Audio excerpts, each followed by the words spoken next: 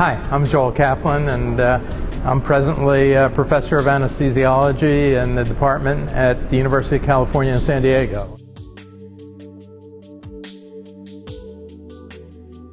This is the sixth edition of cardiac anesthesia, and uh, uh, the feature of this edition uh, parallels the changes that are going on in anesthesia for cardiac surgery.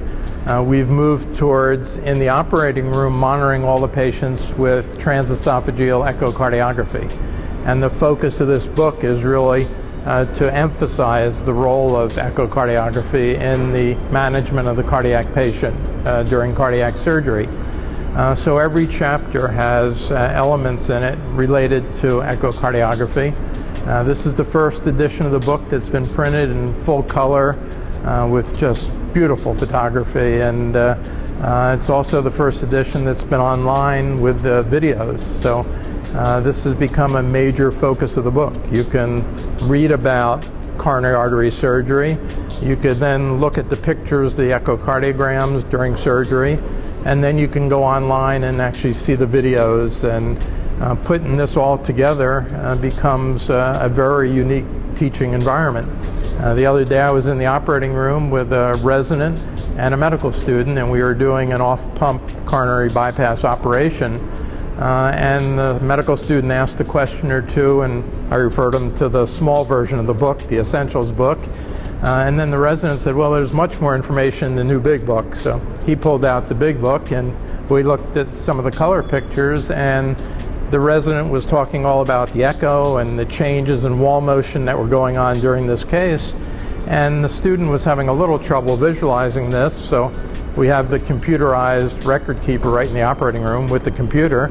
And we went to the website and pulled up the echoes and went through a problem case that's on the echoes. And the medical student immediately could see the wall motion changes. So it really dramatized the change from just a black and white book to the color book that the sixth edition now is uh, to the video and how we can use that. And the other thing we've really added to this edition is uh, that we're going to keep upgrading the book.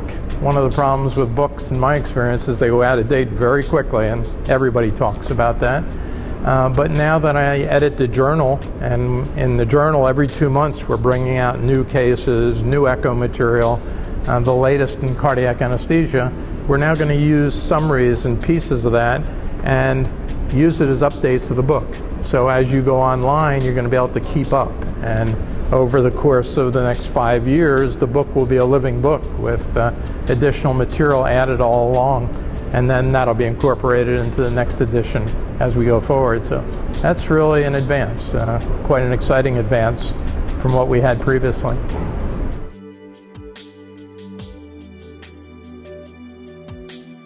There's one other point that I think is worth mentioning with the new book, and that's again to emphasize how it ties in with the other educational uh, materials that I've put together in this field.